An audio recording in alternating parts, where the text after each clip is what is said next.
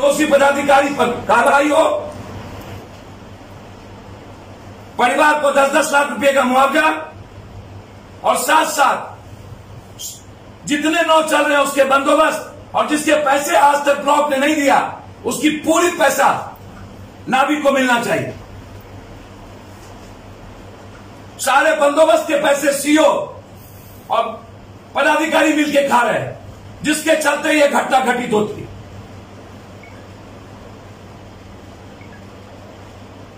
अति दुर्भाग्यपूर्ण घटना है। और इसके लिए पूरे बिहार में हम हम लोग आवाज़ लगातार उठा रहे हैं।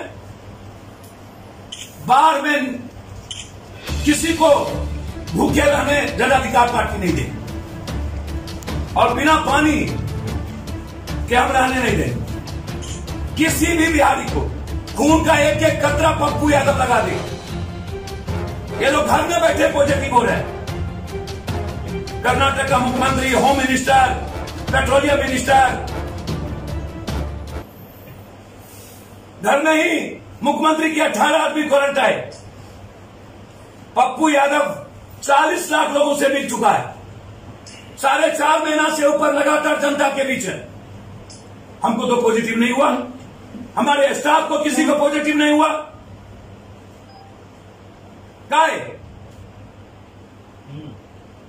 इन नेताओं के घर में ही पॉजिटिव क्यों पप्पू यादव और पप्पू यादव के ऑफ़िस में क्यों नहीं? जबकि हम सबसे ज़्यादा मिलते हैं लोगों से। लोगों के बीच जाते हैं दिन रात। ट्रैक्टर, बुलेट, नाव, पैदल।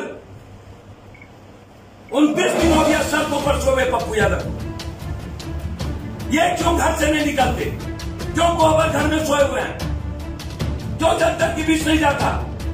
क्यों सारा एमएलए एमपी मंत्री, सचिव मुख्यमंत्री गायब है अपने अपने घर में कोरोना के नाम पर। बस ये मंत्री मुख्यमंत्री एमएलए का बहाना है जनता के बीच नहीं जाने का। Corona virus, positive.